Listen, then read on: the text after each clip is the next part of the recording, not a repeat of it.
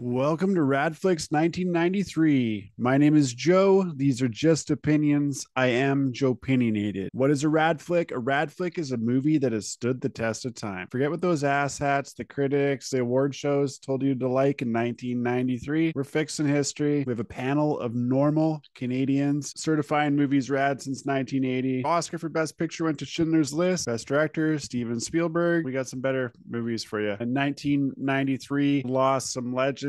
River Phoenix. Uh, apparently, the movie Titanic, James Cameron was writing the role of Jack for River Phoenix. Audrey Hepburn, Andre the Giant, Legend of Wrestling. 1993, this is kind of when I stopped watching. That would be WrestleMania 9, if you're keeping track of that. Andre the Giant, hero of mine growing up. Conway Twitty, also the Texas Tornado wrestler Kerry Von Erich. Brandon Lee, Bruce Lee's son, died in a tragic on set accident 1993 during the making of his film The Crow. First category for 1993, we're going with with Raddest Horror. There's seven finalists, first finalist, based on a novel by Stephen King. That's about the 30th time we've said that on Rad Flicks so far. Our first finalist for Raddest Horror Suspense in 1993 is The Dark Half. Timothy Hutton, Amy Madigan, directed by George A. Romero. The Dark Half. Next up, starring Warwick Davis from Willow and Jennifer Aniston. The movie is The Leprechaun. That's right, Jennifer Aniston, The Leprechaun, directed by Mark Jones. I am the leprechaun. I am the leprechaun. Leprechaun. Razzie Wayne's World. Next up, directed by Guillermo del Toro, Cronos, starring Federico Luppi and Ron Perlman. This is a Mexican horror movie. Creepy. Terrifying, really. Next up, starring Cary Elwes and Alicia Silverstone. The movie is The Crush. Directed by Alan Shapiro. I remember renting this with some buddies and thinking it was a bit of a thriller. Alicia Silverstone, we used to be absolutely in love with her. The Crush. Next up, directed by Philip Noyce with Billy Baldwin and Sharon Stone. The movie is Sliver. Edge Your Seat thriller. Sharon Stone's back. Sliver. Directed by Fraser C. Heston. Written by Stephen King. This time in Castle Rock, Maine. The movie is Needful Things. Starring Max von Sydow and Ed Harris. This guy moves to town. He's the devil. He has a shop, a pawn shop, or whatever you want the most will be available there. Needful Things. Unbelievable how many stories this guy had. Stephen King. Awesome, man. Last but certainly not least, directed by Robert Lieberman, Fire in the Sky, starring Robert Patrick, DB Sweeney, based on a true story. This man abducted by aliens. Horrifying. We talked about uh, Unsolved Mysteries in the last list. Fire in the Sky, the movie, is kind of on a level with Unsolved Mysteries. This one scared the crap out of a lot of kids. The only thing that's not scary about this movie is if you watch an interview with the real guy that claims this happened to, it, it just doesn't really sound that credible to me. Anyways, that's just me. The raddest horror suspense of 1990. 1993 goes to Fire in the Sky. This one screwed up a lot of kids. Shout out to Amy, Fire in the Sky. Whoo-wee. Next up, Raddest Comedy 1993. The finalists, there's 10 of them. First up, Johnny Depp, Mary Stuart Masterson, starring Jeremiah Chechik's Benny and Joon. Don't think I ever saw that one, but we have a panel of normal people. So there's movies that'll get through that I haven't seen, and I'm not claiming to have seen every movie ever. Next finalist, starring Nancy Travis and Mike Myers, directed by Thomas The movie is So I Married an Axe Murderer. Woman, whoa, man, whoa, man. Heed paper, no. Shout out to the George Jordan Van. I know he loved this movie. Next finalist goes to Groundhog Day, starring Andie MacDowell and Bill Murray. Groundhog Day, directed by Harold Ramis. I guess him and Bill Murray had a falling out during the making of this movie and didn't even talk to each other towards the end of it. It's hard to imagine such a classic movie having such a humongous riff happen during this. Harold Ramis and Bill Murray, of course, have worked on plenty of movies before this. Next up is National Lampoon's Loaded Weapon. Samuel L. Jackson, Emilio Estevez, directed by Gene Quintano. Next up, starring Carla Gugino and Pauly Shore. The movie is Son in Law, directed by Steve Rash. So, Pauly Shore had a string of great movies. He was the son of Mitzi Shore. She ran the, the comedy store in LA, Hollywood. There was a documentary about Pauly Shore later on, too, that was really great. Who is Pauly Shore or Pauly Shore is Dead or something like that. It was really great. Next finalist for Raddest Comedy 1993 goes to Wayne's World Part 2, Wayne's World 2, starring Dana Carvey and Mike Myers. This is the one where they try to do Waynestock. Wayne has a dream, and Aerosmith will come and and Aerosmith shows up to Waynestock. Next up for Raddest Comedy 1993 is Dazed and Confused, directed by Richard Linklater. Linklater, starring Jason London, Wiley Wiggins, a whole slew of other kids, teenagers. First time that I watched this movie, I actually watched it two and a half times in a row. Loved it. The last graduating class of the 70s. Some people think it doesn't age well. I think it movie gets better with age. I think it's a fantastic movie. Uh, Uh, one of the greatest coming of age comedies, dramas of all time. Incredible soundtrack, too. Before I forget, I love the soundtrack. Have that on vinyl. Next up, Mrs. Doubtfire, starring Sally Field, starring Robin Williams, directed by Chris Columbus. So he's the guy that wrote The Goonies, wrote Gremlins, directed Home Alone, directed Harry Potter, directed Mrs. Doubtfire. I have an episode on this channel. If you want to learn more about Chris Columbus, I will be doing Robin Williams episodes in the future. I remember seeing this one four times in the theater. Up next, Raddest Comedy 1993, Grumpy Old Men, starring Walter Matthau and Jack Lemmon directed by Donald Petrie. Great supporting cast as well. Daryl Hannah, acting legends, and Jack Lemmon and Walter Matthau. And this is just one of those fun, easy to watch comedies. The winner, Raddest Comedy in 1993, goes to Groundhog Day, starring Bill Murray and Andie MacDowell, directed by Harold Ramis. Hilarious, excellent movie. Runner up for Raddest Comedy of 1993 goes to Wayne's World Part 2. Third place, it's So I Married an Axe Murderer, tied with Mrs. Doubtfire. Up next, action sci fi adventure. The finalists are Demolition Man, directed by Marco Brambilla. Brambilla, starring Sylvester Stallone, Wesley Snipes, Sandra Bullock, Denis Leary. I love Demolition Man. It's about the future where everybody's really soft and all the bad people live in the sewers. I think there was like a big earthquake. You're not allowed to swear anymore. There's some sort of mystery on how to flush the toilet. I was a kid when this came out and it was awesome. Certified rad. I've watched it many times since. Simon Phoenix. Up next, directed by Steven Spielberg. So he made this movie back to back with Schindler's List, which is just crazy to me. The movie is Jurassic Park, starring Laura Dern and Sam Neill. This was a big deal. This movie was a huge, huge blockbuster, like definition of blockbuster. Everybody wanted to see it. Every store you went to had cups for sale for Jurassic Park, McDonald's, all the different fast food things, everything. This movie was amazing. They put dinosaurs onto the screen. We know more about dinosaurs now than they did back in 1993, but yeah, there's no feathered dinosaurs, but it's still great. Up next, directed by Andrew Davis, starring Tommy Lee Jones and Harrison Ford. The movie is The Fugitive. Dr. Richard Kimble said his wife was killed by the one ar- by a one-armed man. Excellent action adventure movie, The Fugitive, based off old TV show. Might have even been radio series but it was definitely a TV show a long time ago. Will he find the one armed man that actually killed his wife? And Tommy Lee Jones is a big deal for this movie, too. Or he got a lot of praise for this movie. Next up, directed by John McTiernan, starring Austin O'Brien, Arnold Schwarzenegger. The movie is Last Action Hero. I remember ACDC having the song Big Gun on the soundtrack. And I remember thinking this movie was kind of lame when I was a kid, but it did gather a cult following. Next finalist, action sci fi adventure 1993. We'll go with, I guess, a bit of an an action movie here Tombstone, directed by George P. Cosmatos, starring Val Kilmer, Kurt Russell, Sam Elliott, many, many more. Gunfight at the OK Corral, Doc Hollywood, Wyatt Earp. Up next, directed by Tony Scott, starring Christian Slater, Patricia Arquette, Brad Pitt, Dennis Hopper, Christopher Walken, Chris Penn, written by Quentin Tarantino. The movie is True Romance. True Romance is right here. Incredible movie. I love the soundtrack. I love the Christopher Walken, Dennis Hopper scene. Incredibly violent and incredibly Quentin Tarantino. I mean, it's got Quentin all over it. It's got a whole bunch of tricks, a whole bunch of movie references. I think he sold this to raise the money to make Reservoir Dogs, how I remember it, but I could be totally wrong. Low on facts, high on opinions. Holy sh! Next finalist, action sci-fi adventure goes to Fire in the Sky, based on the true story of Travis Walton getting abducted by aliens. Do not let your kids watch this; they will be horrified. Last finalist for action sci-fi adventure 1993 goes to Judgment Night, starring Emilio Estevez, Cuba Gooding Jr., Jr., Denis Leary is in it. Uh, Ari Gold from Entourage, can't remember, to think of his name right now. Jeremy Piven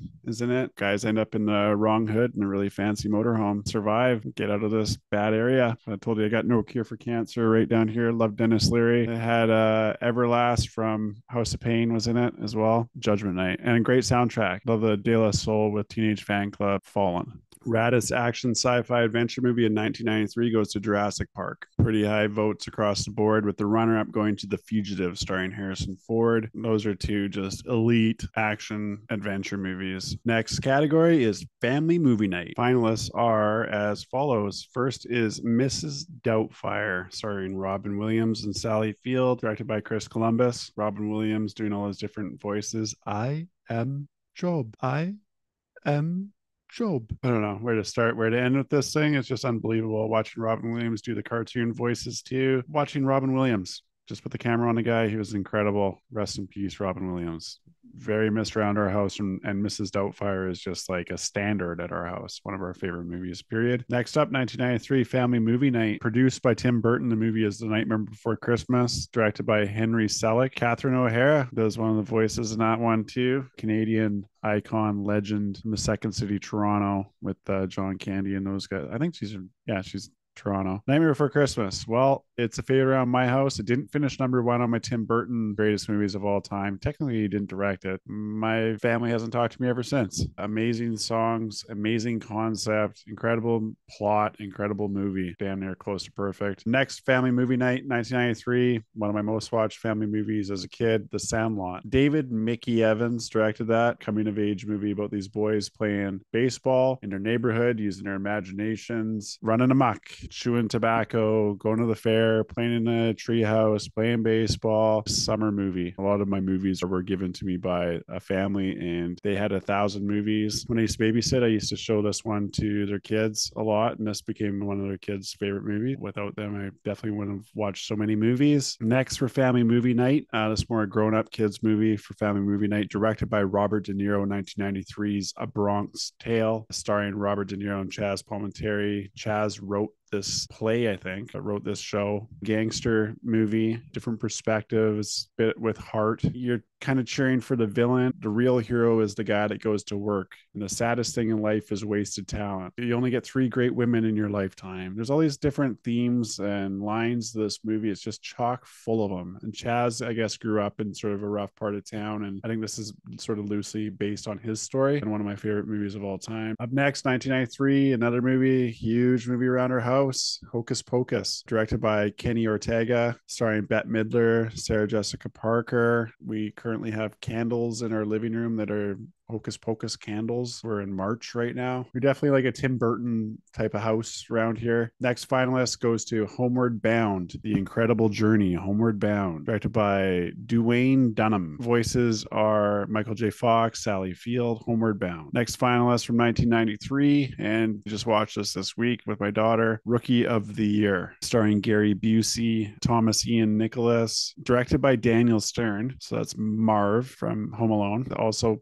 does the voice in the Wonder Years. We're actually on the sixth season of the Wonder Years in 1993. Basically, my favorite TV show growing up was the Wonder Years, sixth season being the final season. What an incredible finale. This show's responsible for me loving so many different bands, first of all, music, learning a ton of classic music through these shows. Everything about it. I love the Wonder Years. Daniel Stern plays Fred Savage's voice in his head, Kevin Arnold's voice in his head, and, and narrates the Wonder Years, directs Rookie of the Year. So maybe we're the boy from American Pie guy gets the, his tendon all messed up in his shoulder and he can all of a sudden he can play for professional baseball. Next up, True Story, directed by John Turtle Tob, Turteltaub, Turteltaub, starring John Candy. The movie is Cool Runnings, based on the Jamaican bobsled team at the Calgary 88 Olympics. I lived in Alberta when the 88 Olympics happened, and I do not remember the story of the Jamaican bobsled team until this movie came out in 1993. Family movie, Cool Runnings. Up next, the sequel to Addams Family, Addams Family Values, Raul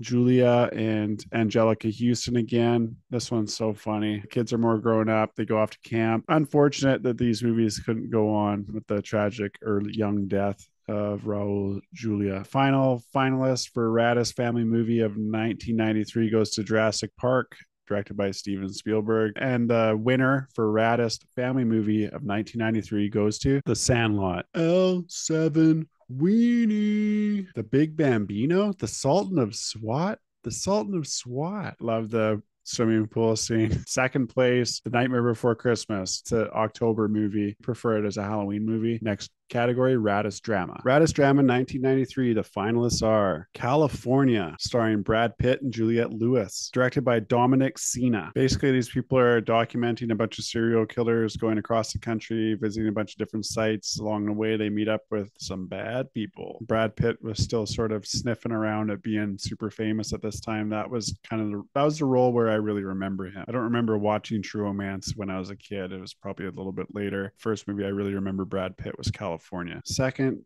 finalist goes to Philadelphia, starring Denzel Washington and Tom Hanks, directed by Jonathan Demme again another movie directed by Jonathan Demme. It's a movie about this guy getting fired for letting his company know that he has AIDS. There's a trial in Philadelphia, incredible soundtrack. Next up, again, behind me there, right here, True Romance, directed by Tony Scott, Christian Slater, Patricia Arquette. Patricia Arquette is so cool and love those sunglasses that are later on used in Kill Bill. Incredible movie, incredible story, incredibly violent. Next up is Schindler's List, horrifying. The Holocaust. Oskar Schindler was this Nazi that sympathized and helped save the lives of some of his the Jewish prisoners. Ralph Fiennes plays this evil Nazi. His performance is incredible. Ben Kingsley. I think it should be mandatory that you should have to watch this movie at least once. Next finalist, Groundhog Day. Harold Ramis, Bill Murray get a shout out for Raddest Drama. Another finalist, A Bronx Tale, directed by Robert De Niro, starring Chazz Palminteri,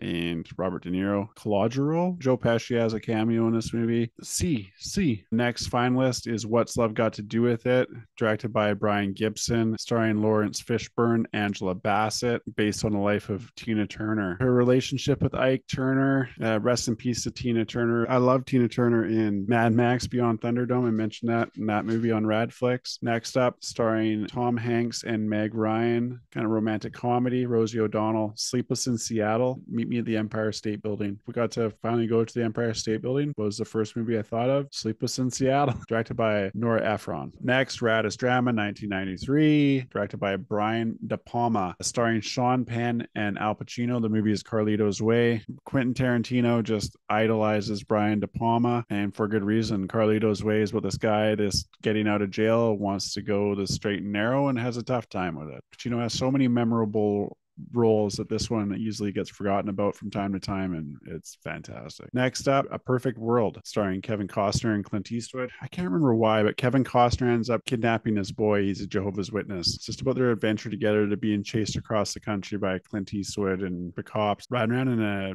in an airstream trailer. Excellent movie. A lot of heart. Perfect World gets forgot about and it's directed by Clint Eastwood. This was his follow up to Unforgiven. The last finalist goes to Alive, directed by Frank Marshall, starring Vincent Spano and Ethan Hawke. True story of a Uruguayan rugby team crossing the Andes, plane crashes, and the team has to survive in the Andes mountains. They don't quite know where they are. They resort to some pretty desperate measures as supplies run out. Great book, too. Crazy story, narrated by John Malkovich. Nando and Canessa. Some honorable mentions Indecent Proposal, Falling Down, What's Eating Gilbert Grape, Jack the Bear, Blood In, Blood Let out, The Pelican Brief, In the Name of the Father, In the Line of Fire. The winner is True Romance director of Top Gun and Beverly Hills Cop 2, Tony Scott, Quentin Tarantino, one of his early scripts. Runner up goes to A Bronx Tale, and third place goes to Schindler's List. Next is Most Watched. This year on the panel, there's five people, Rad Flicks normal people panel. For Jesse, third most watched is Miss Doubtfire. Second most watched is The Sandlot, and most watched is Groundhog Day. For Bob, third most watched is Loaded Weapon. Second most watched is Wayne's World 2, and most watched is Jurassic Park. For Caro, second most watched is Sleepless in Seattle, and most watched is Tombstone. Ian, third most watched is Jurassic Park. Second most watched is True Romance. Most watched is Groundhog Day. For myself, third most watched is Groundhog Day. Second most watched is Searching for Bobby Fischer, another incredible drama that I didn't even get mentioned because 1993 so stacked. Played chess with one of the grandmasters in Washington Square Park in New York. My most watched for 1993 is A Bronx Tale. So the most watched by our group is Groundhog Day, and second wa- most watched by the Normal People panel is Jurassic Park. Finalist for Raddest Movie of 1993. First finalist is The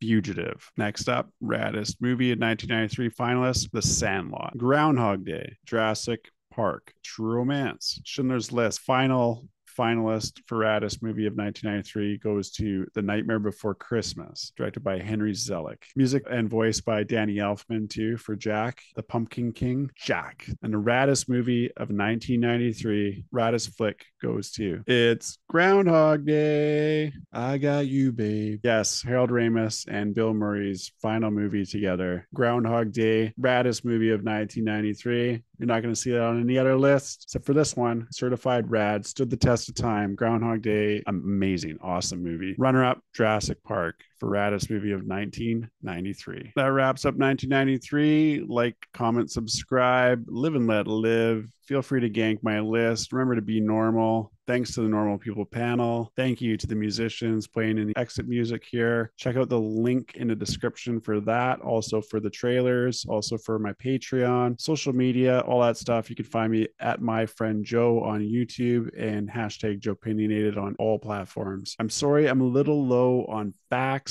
and high on opinions. Respect to the raddest flick of 1993 Groundhog Day. See you on the next one.